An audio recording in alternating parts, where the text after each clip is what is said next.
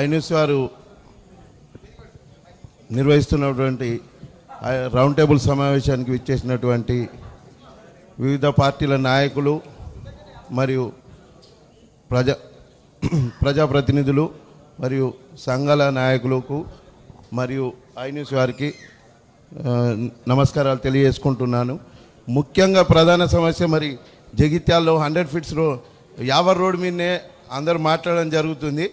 దీనికి దరిదాపు మేము ఒక eight hundred meters Sanjay Kumar garu కృషితోని మరి ఒక ఎయిట్ హండ్రెడ్ మీటర్స్ వరకు మనము గ- ప్రభుత్వ స్థలాలు ఏవైతే ఉన్నాయో అవి ప్రభుత్వ స్థలాలను వెడల్పు చేయడం జరిగింది మరి. అవిటిని తీసేసి మరి ఇప్పుడు కొత్తగా కూడా మేము జీవో తేవడం జరిగింది. మొన్ననే హండ్రెడ్ ఫీట్స్ రోడ్కు జీవో కూడా తేవడం జరిగింది. మరి అందరు గమనించాలి దీన్ని.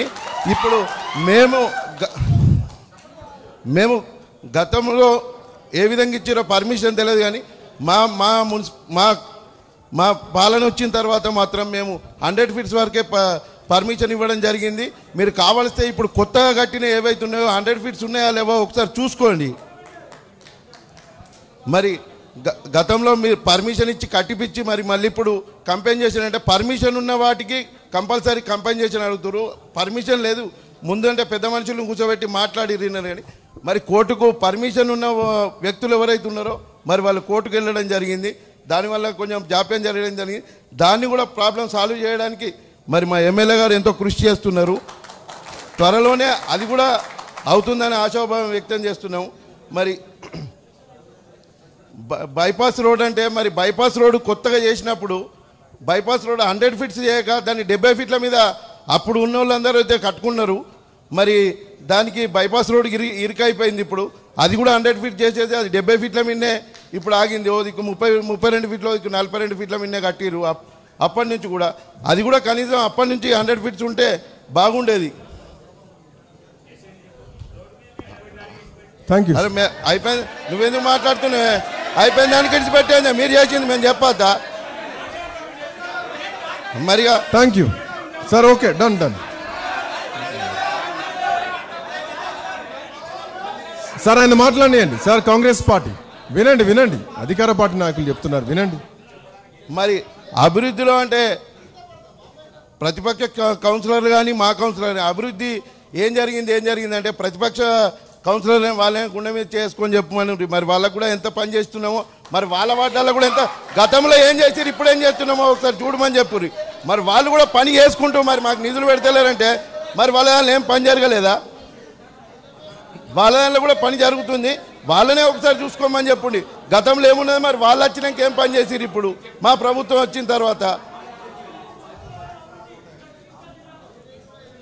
రైట్. సార్ మీరు మాట్లాడండి. వాళ్ళకి సార్ మీరు ప్రజలకు మాట్లాడండి. మీరు మీరు కన్ఫ్యూజ్ అవ్వద్దు. మరి మెడికల్ విషయంగా వస్తే మరి ఇవాళ మాతా శిశు కేంద్రం కానీ గతంలో నర్సింగ్ కాలేజ్ కూడా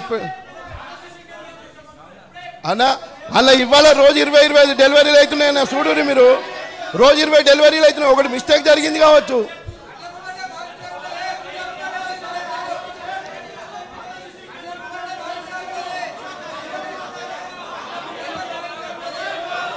అన్న ఇవాళ రోజు ఇరవై డెలివరీలు అవుతున్నాయి మేము సార్ వన్ చెప్పుకో సెకండ్ టిఆర్ఎస్ నాయకులు.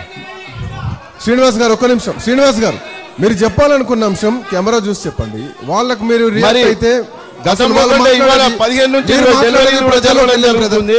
మీరు మాట్లాడేది ప్రజల్లోకి మరి- వెళ్ళదు ఆయన మాట్లాడేదే వెళ్ళుద్ది ఇవాళ కానీ ఓపికతో వినండి అధికార పార్టీ. ఓపికతో వినండి నర్సింగ్ కాలేజ్ గతంలో క్వశ్చన్ పెండింగ్ ఉండే ఇప్పుడు ఇవాళ నర్సింగ్ కాలేజ్ కూడా రన్నింగ్ చేయడానికి కృషి చేసినటువంటి సంజయ్ అన్న గారికి ఒకసారి ధన్యవాదాలు తెలియజేస్తున్నాను నేను మరి గతంలో పెండింగ్ పనులు ఇవాళ పూర్తవుతున్నాయి ఒకటో రెండో మిస్టేక్ అయినా కావచ్చు. మిస్టేక్ అయినంత మాత్రాన మొత్తానికి పనికి రాదు. అన్న ఇవాళ ఇవాళ జరుగుతున్నాయా లేవా మరి ఇవాళ ఎన్నో ఇవాళ మరి ప్రభుత్వం వైద్య రంగంలో ఎంతో ఎంతో ముందుకెళ్తుంది. ఈరోజు రాష్ట్ర స్థాయిలో అంటే రాష్ట్ర స్థాయిలో ముప్పై కాలేజీలు ఓపెన్ చేయడానికి సిద్ధం అవుతుంది జగిత్యాల్లో అన్నిటికంటే ప్రప్రథమంగా మెడికల్ కాలేజీ